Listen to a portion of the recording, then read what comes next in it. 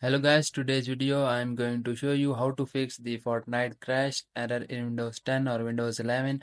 So if you have the same problem then I am going to show you how to fix this problem easily. So first open your Epic Games launcher and here you can open the Fortnite and just click on this three dot option and here you can click on this manage option. So after that in the top you will see the option of the verify file. So in my PC there is no option of verify files so you have to just click on the verify files and it take 25 to 30 minutes to complete this process and it will fix all our corrupted files in our Fortnite game and it fix all the integrity violations in our Fortnite game. So all you have to do is just do this step. So after that you have to just close this and go to your Windows search bar and here you can type the run and open it and here you have to type a command of app data.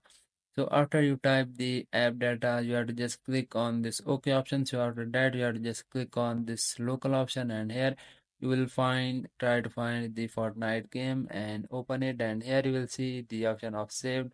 So you have to just click on it and here you have to find the config and open this folder of config and here you will see the crash report client so this is the all the file where the our Fortnite game is crashed. So all you have to do is you can delete these all files because these are not necessary. And you can also delete this crash report client folder and you will see the windows client. You have to just open this folder and here you will see the client game settings. So you have to just right click and delete this file because this is also crashing our Fortnite game. So after that you have to just back and go to your Fortnite game where your Fortnite game is installed. So in my case, my Fortnite game is installed in D drive. You have probably installed in C drive.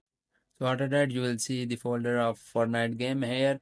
Can go to the binaries and go to the Win64 and here you will see the option of easy anti-cheat cam and open it and here you can just right click and run this administrator easy anti-cheat so after this you have to just repair this because in my case there is no option of repair so you have to just repair this. So after that check if your problem is solved or not. If your problem is not solved so you have to just uninstall the fortnite game and again install the fortnite. So i hope after this video your problem will be solved and please subscribe to our channel for more useful videos like this. And for my motivation